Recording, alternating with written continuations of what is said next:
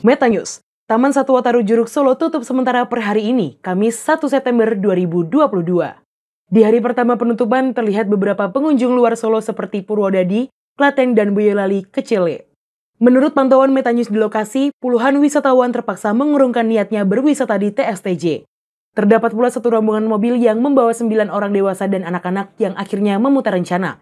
Salah satu dalam rombongan tersebut ialah Aidin berusia 30 tahun. Memang rencana dari awal TSTJ? Iya, iya. Nggak tahu. Nggak tahu. Sampai sini malah tutup.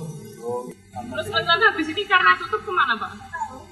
Nggak tahu. Nyampe sini tutup kata Mbak tadi. Pengunjung lainnya asal Sragen, Chris berusia 25 tahun bersama rombongannya memutuskan kembali pulang setelah mengetahui TSTJ tutup. Sama keluarga. Oke, udah direncanakan sebelumnya ya? Udah. Tapi nggak tahu kalau tutup.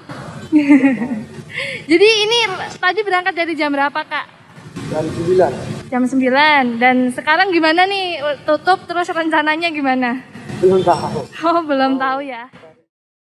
Dirinya yang tak mengetahui adanya penutupan merasa kecewa lantaran sudah merencanakan liburan di Taman Juruk di waktu senggang. Sementara itu, Direktur Utama TSTJ Bimo Wahyu Widodo mengatakan revitalisasi memakan waktu hingga akhir Desember 2022. Saat ini pengerjaan revitalisasi berada di fase 1. Pada fase 1, revitalisasi menyasar pada pengerjaan pintu masuk tiketing, peremajaan kandang gajah, pengerukan danau, dan pembangunan resto. Demikian saya Siska Belinda menyampaikan untuk Meta News. Informasi ini bisa disimak di Instagram selonau.id dan www.metanews.id.